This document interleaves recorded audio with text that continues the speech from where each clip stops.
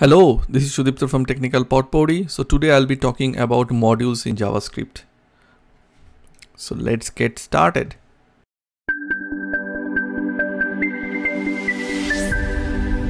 So before we start, let's understand like what is a module in JavaScript.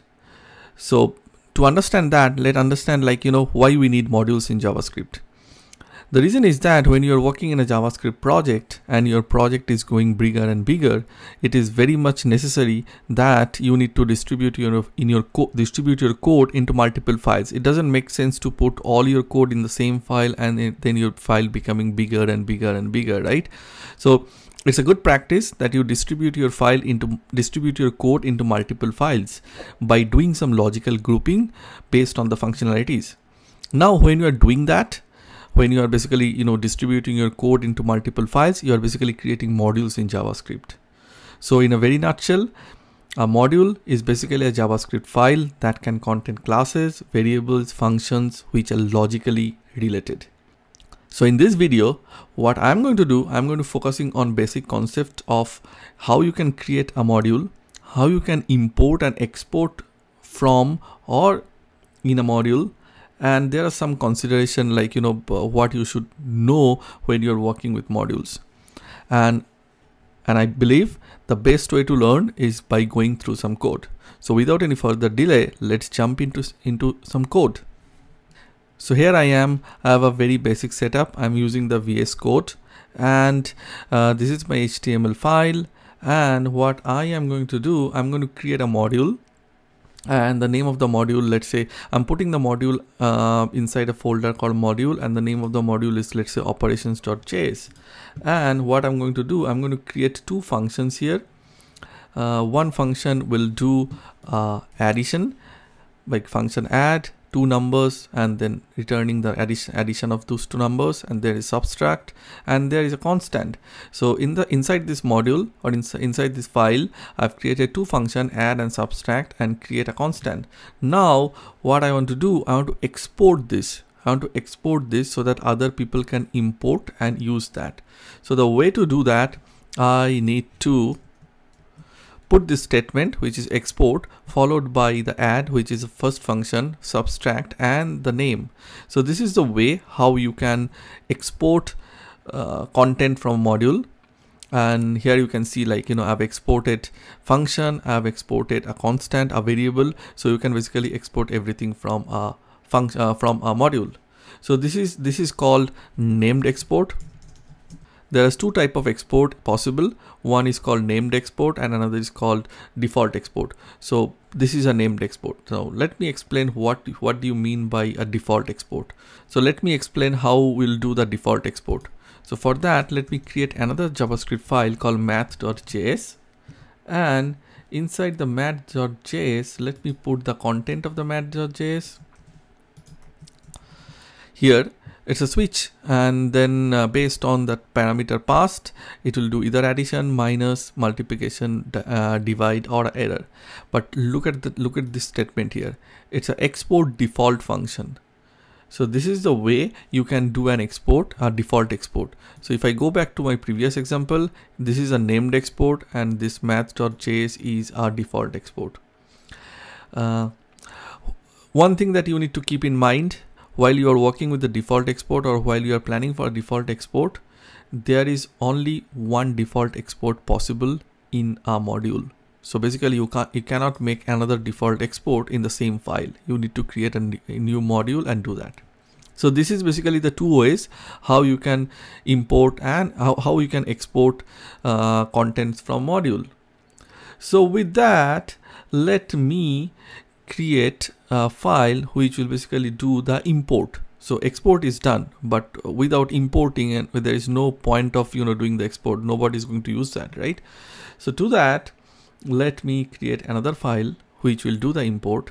So for that let me create a file here.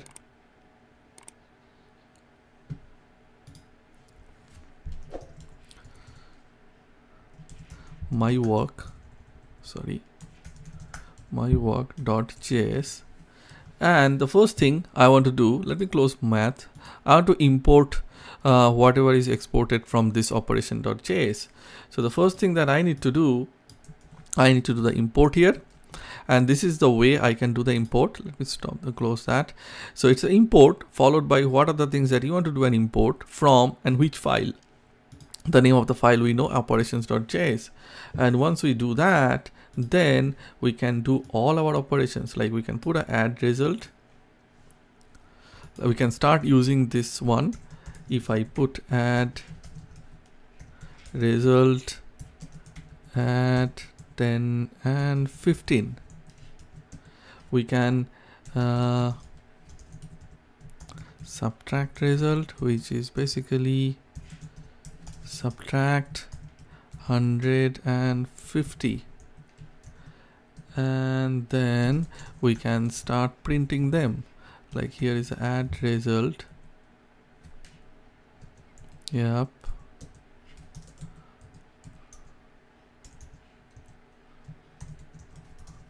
This is subtract result. And also we have exported a constant and the name of the constant is this. So we can do everything. Should be a semicolon here. It should be a semicolon here. Yes. With that, I have imported all these functions and the variable which was exported from this module and then I've used that. So now let me go ahead and add that here. Uh, what is the name? Is it capital M? No, it's small m. So module slash mywork.js. And if I do that in my this window in my console, I can see the first is 10 plus 15, which is 25. 100 minus 50 which is 50 and name which is exported from which is imported from uh, operations and the value is Sudipta Deb that's why my name is getting printed here so this is the way how we can import a variable import a function from a module let's say there are so many things you know exported and you don't want to uh, add everything one by one. So you, what you can do instead of all this thing you can just put star which will basically import everything. But in that case you need to give a alias or some name which you can refer. Let's say mm, my all import and then this. And what you need to do here instead of add you need to use that my this one dot add in the subtract this one and here it will be this one. If you use that you'll get your result back. So basically this is the way using the star you can import everything without writing uh, individual name. And but you need to give a name uh, give, a alias which you can refer while uh, while referencing those variables or the function. Let's say you want to import all of them right? But don't want to use this add you want to give your own name. So that is also possible. So you can import add as my add so subtract as my subtract and name as my name so instead of using add here, you're giving it a new name. So this is the one and then start using that name here. And then this my name here. And you'll exactly get the same result back. So this is the way you can import uh, things and give them a new name. Now I'll show you how you can import a default export. So you remember like you know uh, whatever we are doing here it's everything from this operation an operation is doing a named export. But we have a file math.js which is basically do an uh, default export. So in case of default export how we can use that in our uh, how we can import that right? So to that what we need to basically do we need to write this one so we are doing, we are import do math, just giving a name and from math.js. And then what we can do, we can start calling them this way. So do math and then do math is basically giving a name of the function do math and then passing the parameter add 10 and 12 well it's minus i'm passing 112 and if i close that I'm getting my result back here so this is a way how you can import a default export you give a name and then use that name to call the function by passing your parameters. The things that you need to know, the value of the imported items are read only, which means they cannot be changed. And modules in the JavaScript support live binding that means if the value of the property changes in the main module, it will reflect in the all the modules where it is imported. For example, like, you know, this is the module which is imported. So let's say tomorrow uh, here, I want to add one more here like 10 by default.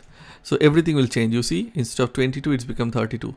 So it's a live binding. Anything you change here, everywhere where this module is being, where this function is being imported, it will get, it will get the new result and uh, modules in JavaScript are always hoisted to the beginning of the current scope which means that it doesn't matter whether you write your import statement at the beginning or at the end it will always be hoisted at the beginning of the beginning of your file.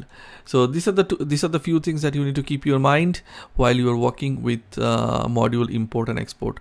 Okay so i hope uh, this video is helpful for you to understand uh, how to work with modules in javascript so if you like this video, please share and hit the like icon and please subscribe to my channel to get update about all my upcoming videos. Till then, thank you. Bye-bye.